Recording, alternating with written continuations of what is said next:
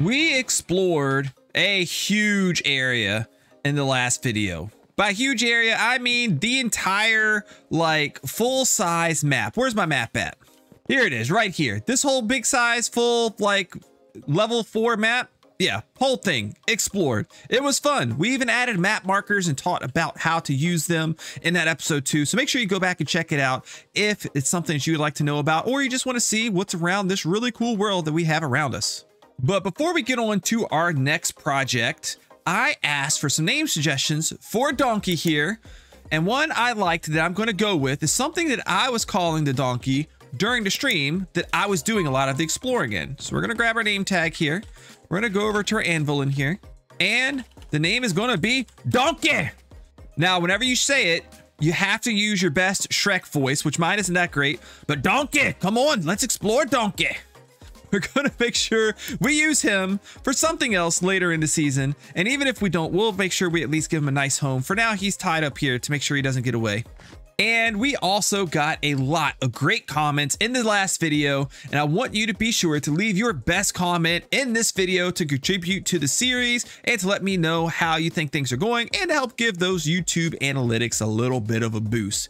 I had a number of people let me know that they didn't know about map marking, so I'm glad that that did help out a lot.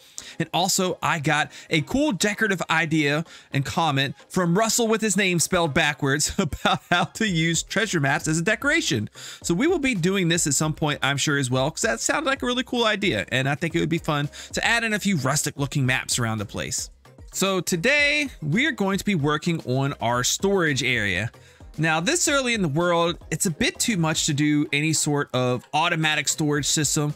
We don't have the redstone supplies. We don't really have enough supplies in general, right? Like we've been living out of these chests. There's a few chests up top there and our like mining area but we don't really have a whole lot of stuff. So I'm thinking a manual storage system this early in the game would be perfect what we can do is we can go over how to make a storage building and we can go over exactly how to organize your storage in the best way, at least in my opinion, when you're talking about the early game and doing a manual storage system in a way that you can actually find everything and keep track of it and not have to, you know, live out of a whole bunch of junk chests where you can't find things. Now, before we actually get started here, though, hopefully you're going to be noticing some subtle differences in my episodes. Since I also stream on YouTube here and I'm often working on things here on the guide world in my streams, I want those of you who don't watch the streams to feel like you aren't missing out. Usually in streams, I will go through like the planning process or the actual building process. Sometimes it's just preparation work and material gathering and that sort of thing. We'll talk about game mechanics. We'll talk about the things to do with the episode more in depth or uh, maybe answer questions that people have or read suggestions that people have and that sort of thing. And I don't always have time to show and do all of those different things in video because videos are usually going to be 20 to 30 minutes, whereas live streams are going to be hours long. So you may hear me reference moments in a live stream. To make things super, super easy for you, the live streams will now have chapters like the videos do. So if you look in the description of that stream, you'll see me talk about maybe some base spoilers for my base around here at 29 minutes and 50 seconds into the stream. Or at 42 minutes and 40 seconds, you may see me talk about the build palette that we're going to be using. And there's other segments in there too that are relevant to the episode today. Those chapters are links straight to those parts of the stream. So it's super easy for you to go in and get a 10, 15 minutes like snippet of the exact thing that you want without having to watch the full two and a half hour stream. I will also likely be recording segments of my video in stream as well. And I may even leave my camera on for those so you know it's a moment from the live stream that we're including into the video. And you'll get a feel for how these two kind of relate to each other and what types of information and things that you're going to see in each one. So keep a lookout for that. You might see my beautiful face plastered on screen even later in this video. My goal though is to still give you everything you need in the videos, just like I always have, just like you've been getting up until this point, but just point you to how you can easily get that next level of detail or information that you can find in the streams. So let me know how you feel about this after you've watched the video down in the comments section below. So after spending some time looking around and thinking about how I want my base to lay out, I've kind of decided that over in this area may be where a lot of our starter things end up going. I know we did the, uh, like the furnace system over there, and maybe that was a mistake, but that's fine. We're going to be working over here more. We have our mine shaft here, and I even did a little bit of looking around. Oh, not only our mine shaft, we have our mending villager here and our zombie spawner, um, which we'll talk about here in just a few moments.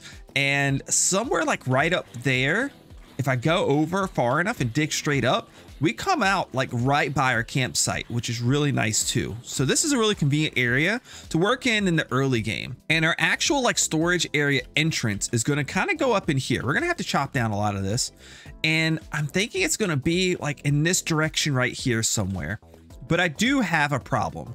My problem is that I do plan on expanding out this zombie spawner area because I want to get more villagers in here for discounts and I want to get specifically librarians. And we need to put them 16 blocks away from that zombie spawner there, which means that I, I need to do it all the way around, the whole area around here.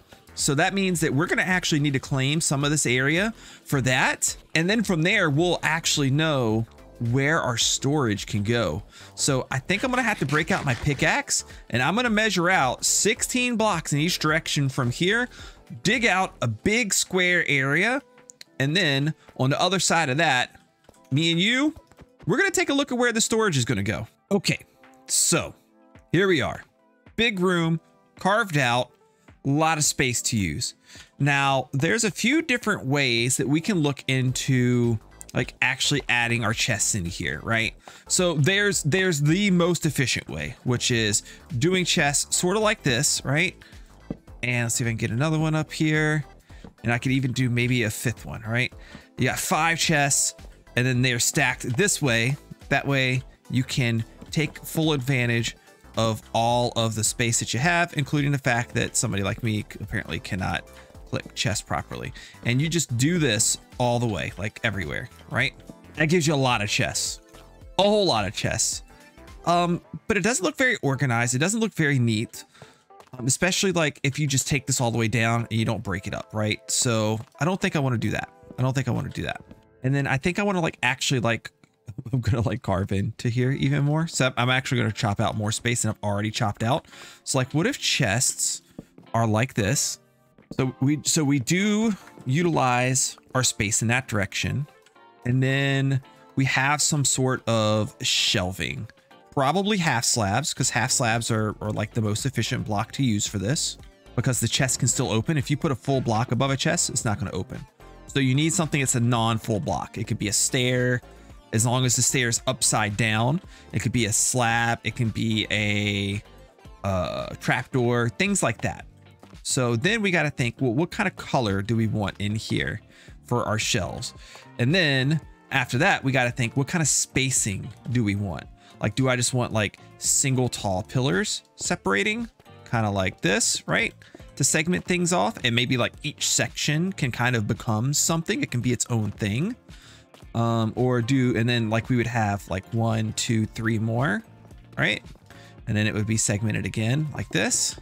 It doesn't give us a lot of room for like additional decoration and stuff, but it's efficient for our space. Or do we waste more space and then do like three like this and then do three and then that gives us additional room to create depth here where we have like i don't know like stairs and fences and lighting and all sorts of stuff but then we're we're using up even more of our space that we're already using up by putting the slabs there i'm kind of leaning this route that way we don't end up having this huge room it's only going to have like 20 chests in it. You know what I mean? So I think we're going to go this route. So I'm going to figure out what kind of slab we're going to put here. And I don't know what I'm going to use as my pillars yet either. I plug these in for now because I, I don't know if I want it matching the outside of what I have there or not yet. But we'll find that out shortly. Now, one thing to keep in mind when you're making a big storage room like this, you're to need a lot of chests. Chests cost a lot of wood. We're to need a lot of wood.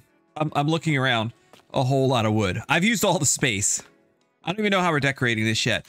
I think the plan is, I think the plan is, I'm to get the wood. It's nighttime for me. It's 10 p.m. Probably stay up till about midnight. Maybe a little bit. Maybe I'll go to bed a little bit sooner. I don't know. I'm going to get wood to make enough chests. And then tomorrow, sometime early, I'm going to live stream. And we'll probably record some of this, the creation and design of this room, and the live stream together. So let's do it. And we have chests here in place, ready to go it, it, actually it it feels like a good amount of chests. I would not have wanted more chests than this. It took a while to get all the wood even for this. It was quite the task. And I'm here with the live stream right now. So everybody in YouTube land, say or YouTube video land, I guess is what it would be. Say hi to everybody in Streamland. Everybody in Streamland, say hi to Video Land. And if you're saying hi to yourself, you're really weird. And stop doing that because you're gonna mess up space-time continuum and all of that stuff we learned in like Back to the Future. So don't do it. But next, what I need to do is I need to work on design of this room. And that's what I love doing on stream because I get a lot of live feedback and help of how to design a room. And mostly I'm going to look for help on like how to pick all of the colors and such that we're going to do in here. I think the floor is probably going to be a continuation of what we done in here. We did in here, uh, the dark oak. Um, I could maybe be convinced otherwise, but I think it's good to have some kind of continuity. So I think we're going to bring the dark oak out this way, right? Um, we're also going to need to build some type of like little entryways. We have a little one on that side, a little one on that side, and a big one here in the center, just to give a little bit better of a flow and make things feel a little bit more open. And the ceiling is going to be kind of like this, like it's going to be kind of roughed in because uh, I do still want it to feel slightly unfinished and cave-like. We'll probably put some breaks in the floor too. Um, but I think the like the detailing of the chest area, like the pillars or whatever we put here, I think we'll do something that looks pretty good there. We probably will have that look very pristine as though the storage area was just made. It was just kind of like made to fit in this space. So I'm going to go on with the stream. We're going to do a little bit of talking and designing. We may pop in for a little update here and there. Otherwise, I'll see you on the other side of this clip. So we're in the process of replacing the floors here, and there's going to be a lot of detail added in here. We're just kind of starting out with a blank slate. But it kind of reminded me or made me think that we actually need to talk about lighting a little bit. Because one of the things that you want to do whenever you're doing a room is you want to spawn proof the floors. And what I mean by that is we want to get the light level below or above zero, because at zero is when mobs can spawn. One and one and above, any kind of light at all makes it so mobs can't spawn, right? So we're going to do that with hidden lighting. You see how I can knock all of these lights out, all these torches out right here and the room is still lit up. That's because we've hidden lighting under the floor. And I want to show you how I did that. So what we're going to do is we're actually going to create a kind of grid pattern just to give us like good coverage. Make sure we don't have any mob spawn. And I kind of even like to have my chest areas lit up well too, right? So what we're going to do is we're going to put a torch right there under the ground. We're going to maybe skip like three, maybe we can even skip more, right? I don't know. I kind of like, I'm looking at how well the floor is lit. I kind of like it having a like very even tone to it and not a lot of shadow. So we'll skip three blocks. We'll place a hole in. Three blocks, we'll place a hole in. And we're going to make a grid pattern across the whole floor. Okay, so we have our grid laid out here, and what we're going to be doing is we're going to be placing torches in these little holes that we put down in the ground. Now, we're going to have the floor at this level, and I'm going to show you right now exactly what we're going to be doing with this. And let me actually do that by putting lights down in these first few sections here.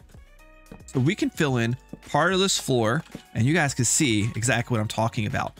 Because I did it over here, I did it over there, and you probably wouldn't even see it because we're actually hiding our lighting underneath the floor.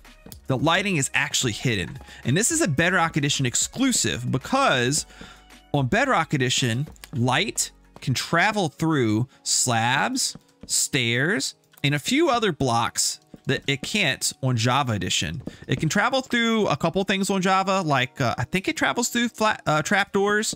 Um, it travels through carpet, but it does not travel through slabs. So we can actually give ourselves a nice looking slab floor and then have the room be very well lit, but not see any torches. So you don't have to worry about torch spamming to make it so mobs can't spawn. And then later on, at the very end of things here, I'm going to make things look good via RTX mode where we'll add in some mood lighting to make it look good with RTX. And when I get to that point, I'll tell you a little bit about lighting with RTX. We'll probably keep that point kind of short and simple for the most part. But yes, this is super awesome. Put a hole down in the floor, cover it with slabs, and you have lighting that cannot be seen, but still lights up the room and keeps mobs from spawning.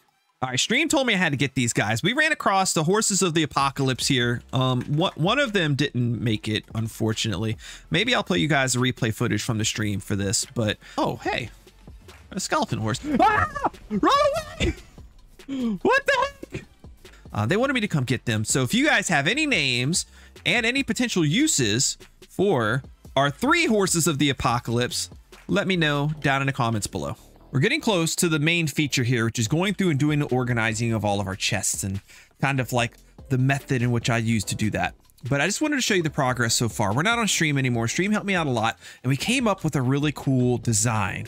So remember like one of our bits of lore about our world here is the fact that we are a, I guess I've kind of chosen an elven civilization, but like cave elven, if that makes sense. And I'm not taking any direct, uh, like, copying any particular designs. I'm trying to kind of come up with what my own version of things is going to be. Because I don't want it to look dwarven. I don't want it to look traditional elven. And I am like coming up with some like ways of, oh gosh. I am coming up with some like color schemes and ways of doing things that I think I'm going to really make my own. But part of this to me is when I think like of an elven like civilization, I always think of like brighter colors. So we're going with these saturated colors in areas here that I think make sense, but they don't overdo it because we are living down in the caves and these like this deep slate and darker colors are things that we have a little bit more access to. So to me, it does make sense to use it, but like we're going to be using it in a sense that I think is subtle. It, it's subtle, but it sticks out, if that makes sense, right? So this is kind of what like the total, like the end look of all of these little end caps is going to be, if that's what you want to call them, or all of the, um, all of the pods where the chests are, is we're going to have like these guys right here dark oak there. We'll have the acacia shelves. We'll have the pillars here. And then I'm, I'm going to do something up here. I haven't really quite designed that yet. And you'll see that once we get to the next segment. And also like we have here, the little entryways in. We actually have three entryways in and out instead of one. I thought that made a lot more sense. It looked a lot better. Uh, we have some archways there. It's looking really good. It's structured, but it's also kind of broken down a little bit. I still need to detail the ceiling as well. We got a lot of work to go here before I can call this episode done, and I'm running out of time today, so I got to get back on it. Okay, now our decorations are mostly in place. I'm trying to get some grow grow berries. I don't think they're called grow berries. I'm trying to get some glow berries to grow here. I'm not having much luck. I, I feel like this is not going to be very productive because I do want some glow berries to like light up the room. So we'll, we'll see what happens with that. We'll let these grow for now. And we have emeralds here because emerald is going to be one of our blocks that we use as like our accent piece on the exterior of this building, which we'll be doing or showing off in a future episode, maybe even the next one. I don't know. I need to see how quickly I can do it on a stream. So we're still trying to get some more emeralds, emerald blocks. I've done pretty good so far. We need to get some more. I do like the way it looks. I like the way it, it kind of accents and it actually, it, it doesn't really go real well with the acacia, but that's just, it's intent. It's supposed to be that way. It's fine. Maybe one day I'll swap all the acacia out for like warped wood or something. I don't know. But in any event, we need to actually start marking everything. So what we're going to do is we're going to take these signs and we're going to put them to mark all of our chests. Now, originally my plan was going to be that we'll just do this for that, this for that, but then I, I, I can't, I don't have a way to do these. I don't know that I like it on the floor. So what if this goes with that, this goes with that, but then how do I mark those? This is an interesting problem. Maybe I'm just going to have to get rid of those and just mark on the actual chest themselves. I don't like doing that so much because it gets rid of the look of the chest and like then I have to be careful to not click the sign, but I, I guess I guess that's fine. I guess that'll do. Let me get signs on all the chests. So now we have item frames almost everywhere. How did I miss that one? Um, we have a big one up top that's going to like signify a larger category. And then the ones on the individual chest to signify what that chest is going to have within that category. Now, before we start moving items in here, we should probably bring them all over. I have a bunch of chests here. They're all empty right now. These are temporary because I want to bring all the items I have pretty much everywhere else in the world, at least places that I don't want items to be anymore. I'm going to bring them all here. I don't even think I have near this much, but I just, I just made a bunch of chests just in case. I'm going to transport them all over. Then we're going to start making our larger scale categories. Okay, we're back. And before I start throwing things into item frames, I wanted to show you something I just figured out. And I tested this on Java Edition. It doesn't work on Java Edition. And it doesn't work with any other type of plant that I've seen. Take a Silk Touch, like pickaxe, axe, whatever, and hit one of these glowberry vines, like this. You get a glowberry from it. You hit it with Silk Touch. I don't think it's supposed to do that, but it does. So if you want lots of glowberries, silk touch these empty vines and you'll get a glowberry every single time. Super cool, fast way to get glowberries. Pro tip for you guys. I don't know if anybody else knows this. I haven't seen or heard from this anywhere. I asked some people uh, in my Discord channel. They, they no, none of them knew that this was a thing. So yeah, free glowberries. Anyways, we have items here in our inventory and I want to start organizing and we're going to start by category, right?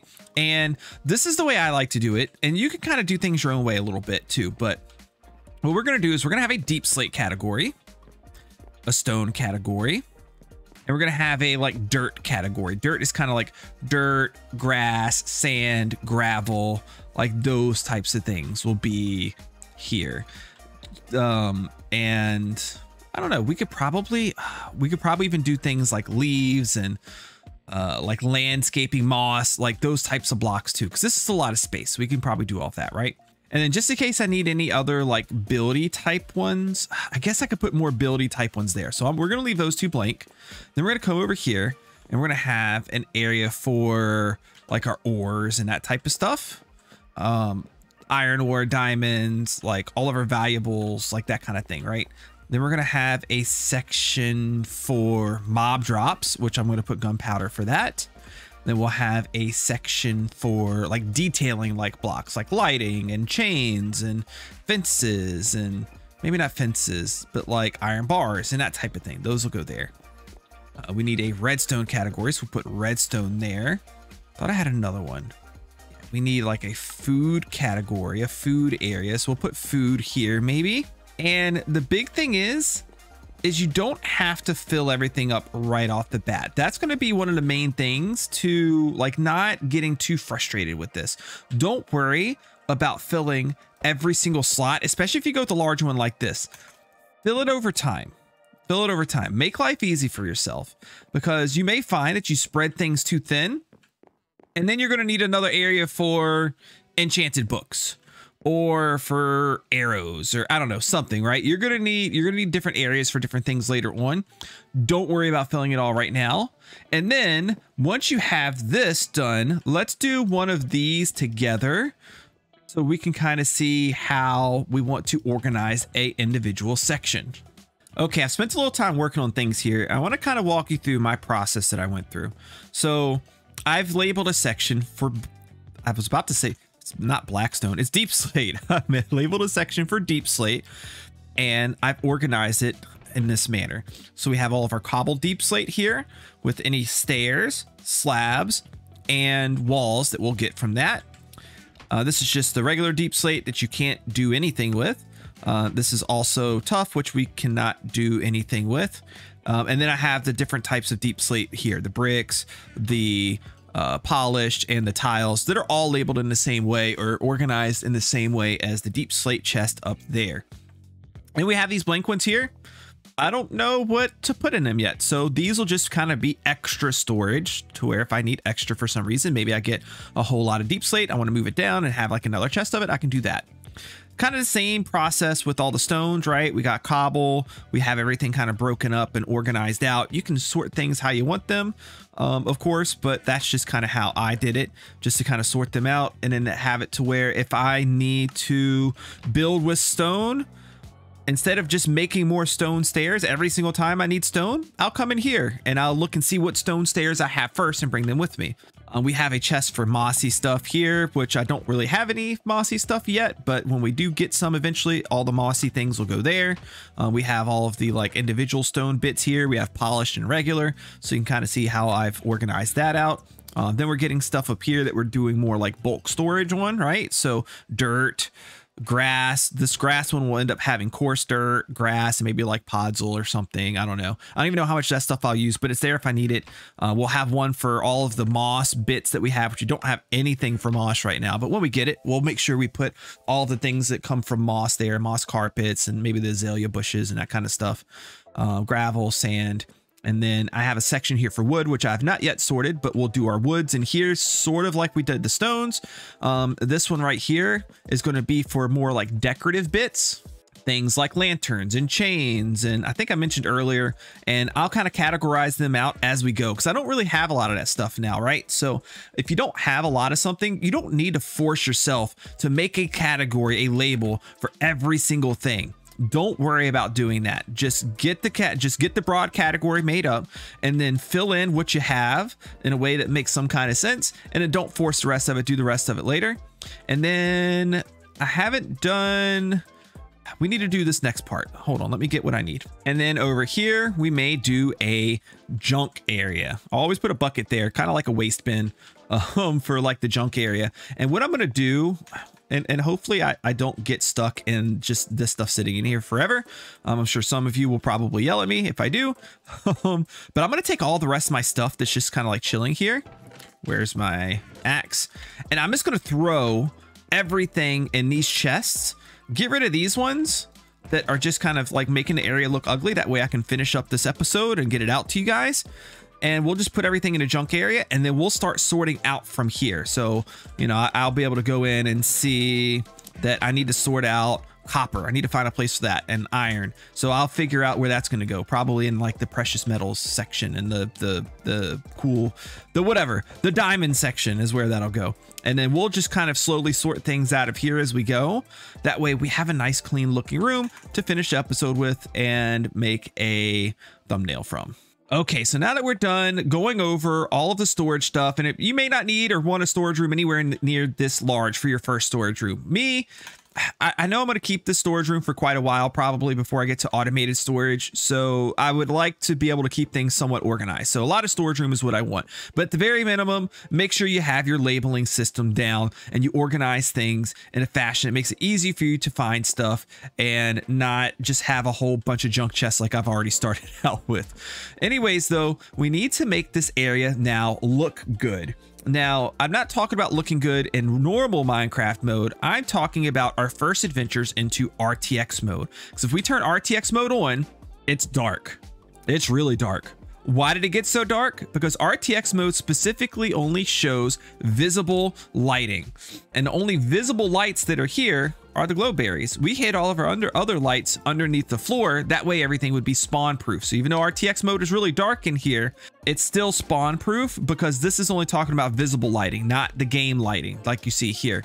So we actually need to go through, we need to add in some lighting and also this ceiling's feeling a little bit flat. So maybe we'll add in a little bit of detail to that too. Probably just kind of something like we've done in here. Not too much, nothing too crazy and then we'll uh, we'll see what things look like with RTX mode once we got some real lighting in here because it really makes the place look good.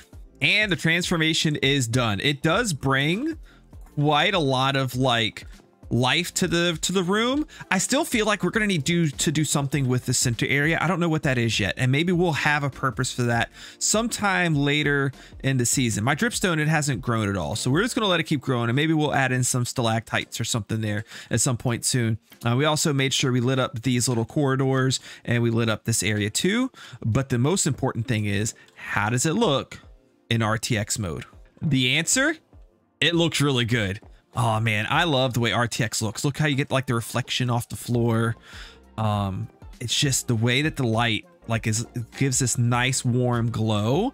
It looks really cool. I like the glow berries too. They just add like a little bit of extra pop to the room and I'm super happy with how this turned out. You see like the reflection and the emerald blocks. It looks so good as you move around the room. I absolutely love it. And that is going to be all for today's episode. If you enjoyed it, please hit the like button and drop a comment down below. Let me know how you're enjoying the integration between stream and video. Also, let me know down below if you decided to check out the stream and use the chapter feature that I mentioned earlier to find parts of this process that I couldn't include in the video and just what you generally thought about that. And I'll see you next time. Bye! Thank you.